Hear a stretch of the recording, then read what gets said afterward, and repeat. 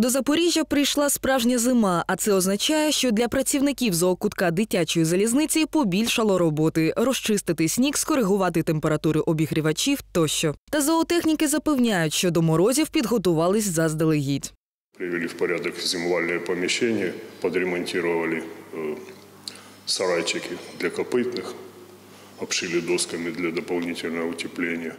Зараз тварини малоактивні через холод та короткий світловий день. Значно знизилась активність ведмедів. Та завдяки регулярному харчуванню в глибоку зимову сплячку вони не впадали жодного разу за всі роки перебування у зоокутку. На зиму ущільняється шерсть у тварин та пір'я у птахів, тож особливих умов утримання більшість не потребує. Основная масса животных у нас э, на улице зиму переносит нормально. Те, кого нуждаются в теплых помещениях, то есть это попугаи, насухи, морские свинки, мары, мы их перенесли в помещение с отоплением.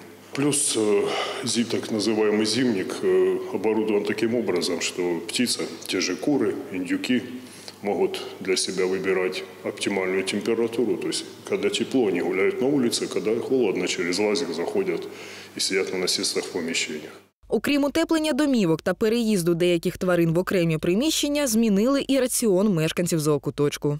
В летнее время и осенью горожане помогали там сезонными овощами, фруктами.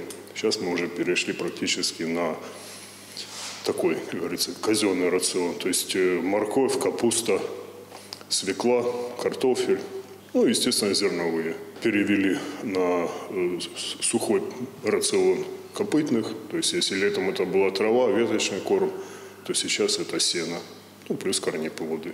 Наразі дитяча залізниця, як і більшість установ під час локдауну, закрита для відвідувачів. Но животные ежедневно требуют ухода за ним, кормить их надо, поить их надо, убирать за ними надо. Животным все равно, есть локдаун или нет локдауна. С этим справляются наши работники.